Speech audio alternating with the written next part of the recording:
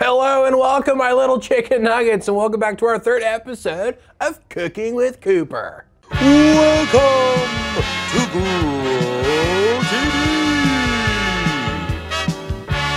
hosted by Carl, where we have fun with our friends, talk about Jesus, and go over everything the Bible has to offer. Now, once again, welcome.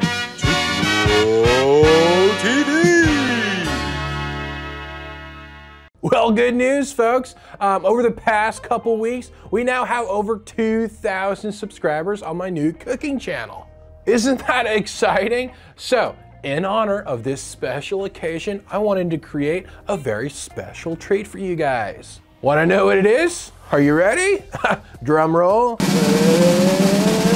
rando sando, aka a random sandwich.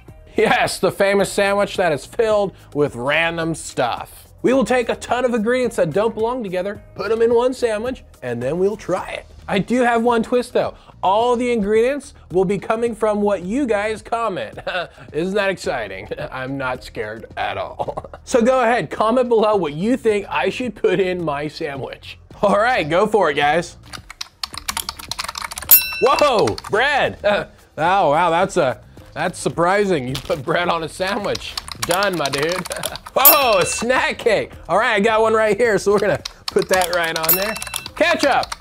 Oh, all right, if you say so. I guess I have to listen to you. oh man, that's gnarly. Sick. And the last ingredient, let's see what it is. A banana. cool. there we are. Yay. All right, surf's up. Yum. So good. It's like, wow, that is really good. Excuse me one second. and I'm back. Kids, I'm not sure that was the best idea. Hey, Cooper, what was the best idea? No, I said I wasn't sure if it was the best idea. I just ate the world's worst sandwich because they told me to. Check it out. Oh, that looks gross. Why did you listen to them if you knew it would make you sick? I have to listen. Isn't that step number three in your super duper recipe book? Well, not entirely. Can you read it again? Fine, I'll read it again if it makes you feel better. See, uh, here, step three, here, listen. Listen to who? Whoa, God? There it is. You see, when it comes to eating nasty foods, we don't always have to listen. But when God speaks, that's when we should stop and listen. Like Samuel. Hey, you read the story. Of course I did. Well, most of it. Some of it. Okay, fine, just the last verses. Oh, well, let's talk about the beginning then.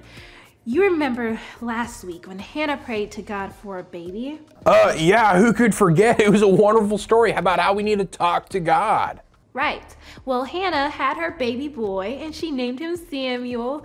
Samuel grew up in the temple and was taught by Eli the priest. And one night, Samuel woke up to his name being called. Oh, Samuel is in trouble, my dudes. Samuel ran into Eli's room and said, Here I am, you called me. Eli was confused because he didn't call Samuel.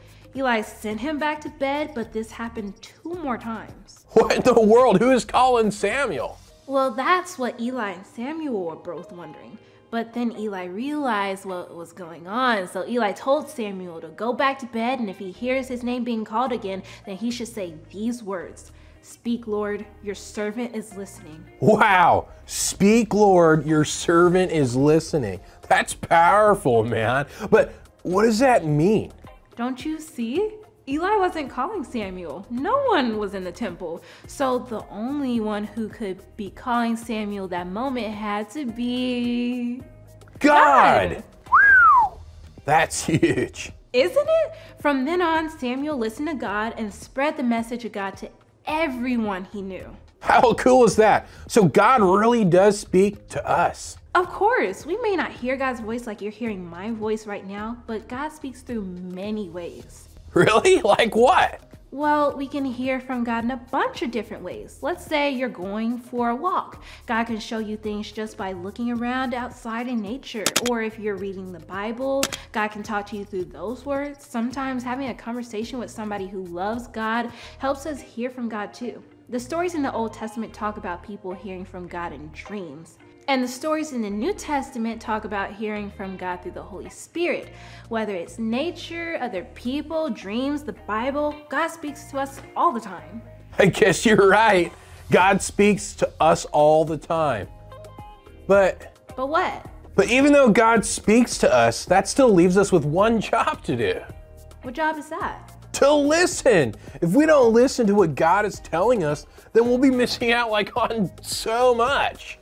Well, Cooper, you're absolutely right. Listening to God is one of the most important things we can do.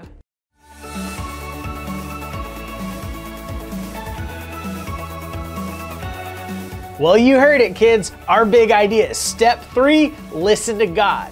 So, on the count of three, let's say it together. Are you ready? One, two, three. Step three listen to God. Good job, everybody. Now, next week, Cooper's gonna find out the last step in the super duper recipe book. So, don't miss out. We'll see you then. Thank you for watching and tune in next week for a new episode of Pro TV.